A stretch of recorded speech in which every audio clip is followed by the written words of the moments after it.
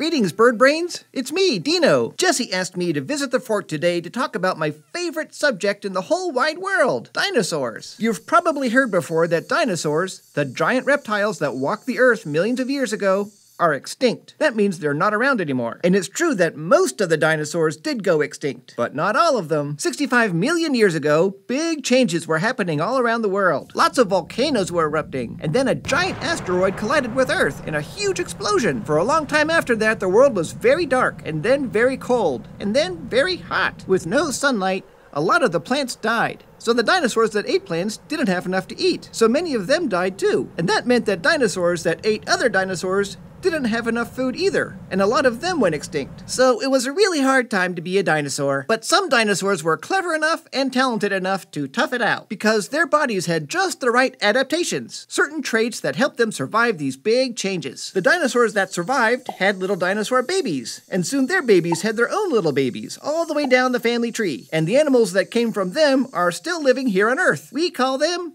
da da da da birds. That means that birds like me, Dino, are descendants of dinosaurs, and dinosaurs are my ancestors. Like my great great great great great great great great great great great grandparents. So I'm part of the dinosaur family tree. And since birds are part of the dinosaur family, I'm not just a descendant of a dinosaur, I am one. So the dinosaurs live. Now, how do we know that birds are related to dinosaurs? Well, we have lots of clues, specifically from theropods, a group of two legged dinosaurs that also included velociraptors and Tyrannosaurus rex. Hundreds of millions of years ago, way before the earliest birds appeared, dinosaurs were developing lots of bird like adaptations. Theropod dinosaurs, especially, started to have a lot of bird like traits that would later help birds take to the skies. Like feathers! Lots of dinosaurs, even dinosaurs that didn't become birds, had feathers. Some of these feathers were more like little hairs, which probably helped dinosaurs keep warm. But some types of theropods wound up with bigger, fancier feathers, and even wings. Before they were birds,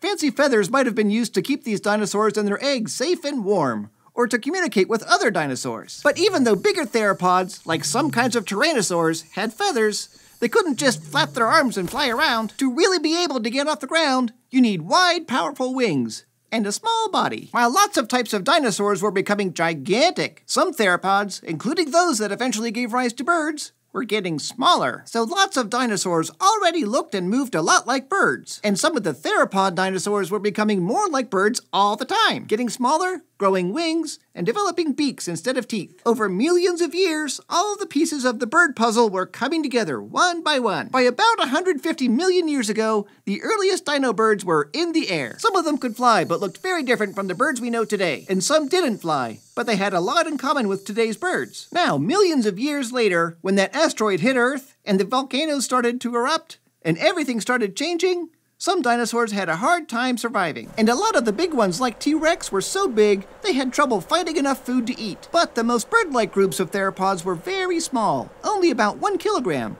were as heavy as a pineapple. That meant it was easier for them to survive on less food and to find places to live. And because they were so small, these early birds were also able to use their wings to take flight. Not only did some of these flying dinosaurs survive, they really took off. We have more than 10,000 types of birds around today. So the next time you see one of us feathered friends flying around, you'll be able to point to it and say, hey look, a dinosaur. Thanks for joining me, Bird Brains. Do you have questions about birds or dinosaurs or anything at all? Ask a grown-up to help you leave a comment below, or send us an email at kids at scishow.com. See you next time!